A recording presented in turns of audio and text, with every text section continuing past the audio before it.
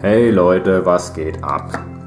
Mittlerweile ist Tag 10 im Juli und ähm, gestern habe ich noch ein bisschen an den Vostrojanern rumgearbeitet, habe erste Highlights zugefügt.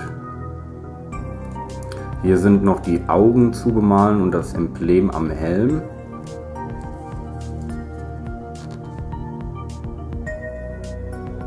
Ich zeige euch noch den anderen. Ja, ich habe morgen und heute einiges zu tun, deswegen werde ich nicht zum Malen kommen. Ich habe hier bei der Base auch noch ein bisschen äh, Schießpulver hinzugefügt, den Mörser fertig gemacht und auf die Base geklebt. Ähm, ja, jetzt zur, zu meinem Lieblingsmodell. Ich denke, das ist er hier. Ähm, ja, ich glaube, das ist äh, auch das Modell, was mir am besten gelungen ist. Ähm, ich habe den auch schon mal in einem Video gezeigt.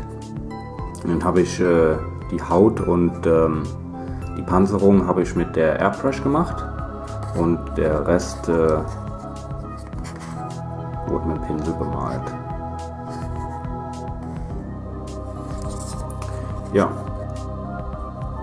das ist es, der Höllenschreiter aus der Dark Vengeance Box. Ähm, das war's von mir. Bis die Tage. Tschüss.